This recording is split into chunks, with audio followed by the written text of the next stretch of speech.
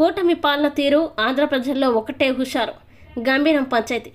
కూటమి పేదల పాలన అంతం కాదు. ఇది ఆరంభం మాత్రమే. రాష్ట్ర ముఖ్యమంత్రి నారా చంద్రబాబు నాయుడు ఆదేశాలతో రాష్ట్ర ప్రభుత్వం పెన్షన్దారులకి ఎన్నికల్లో ఇచ్చిన హామీలకి గాను అదనంగా వెయ్యి రూపాయలు పెంచి మొత్తంలో ఏడు వేల రూపాయలు నూతన పెన్షన్ని భీమ్లి మండలం గంభీరం పంచాయతీకి చెందిన తెలుగుదేశం జనసేన బీజేపీ పార్టీ సభ్యులు గంభీరం గ్రామంలో అందరూ కలిసికట్టుగా పెన్షన్లు అందించారు.